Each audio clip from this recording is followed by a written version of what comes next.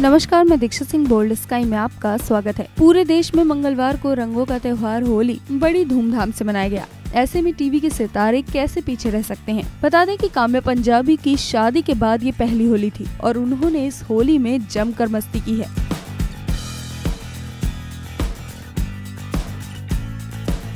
काम्या पंजाबी ने शलभ डांग के साथ होली सेलिब्रेट की और अपने होली सेलिब्रेशन की तस्वीरें सोशल मीडिया पर शेयर की हैं। इसी के साथ 10 फरवरी को काम्या और शलभ की शादी को एक महीना हो गया। उन लोगों ने एक महीने की एनिवर्सरी को सेलिब्रेट किया और, और काम्या ने अपनी और शलभ की किस करते हुए फ़ोटो को तो सोशल मीडिया पर शेयर किया।